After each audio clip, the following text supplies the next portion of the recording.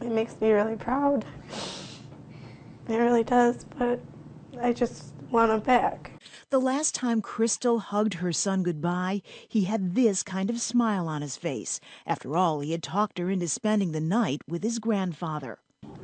It was his best friend. We tried to save him. Crystal has pieced together the story of her son's final minutes with the help of family members who were there.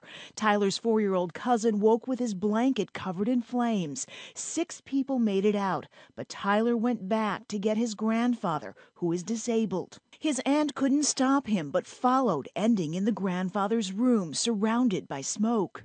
My sister had his hand, and he, I guess he let go of her and tried to get to my dad, and and she opened the window and he wasn't there anymore.